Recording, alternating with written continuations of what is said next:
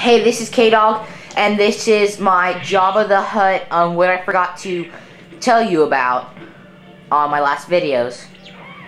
Um, so, one of the things I forgot to tell you about is the one of the characters. One of the characters I forgot to show you is Dengar. He is one of the bounty hunters. He is the bounty hunter that has, like, the white face mask over him. Um, this is him right there.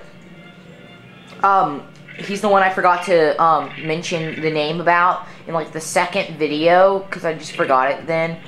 And um, also another thing I forgot to mention is the money time.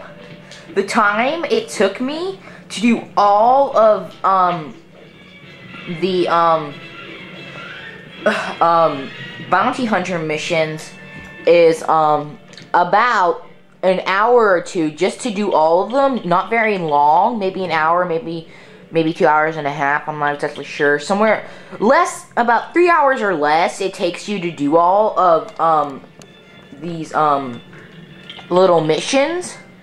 But it gets you a, a lot of money, and um it's about it'll about take me about two days to reach one million. And my plan is to get the um Anakin Skywalker Ghost.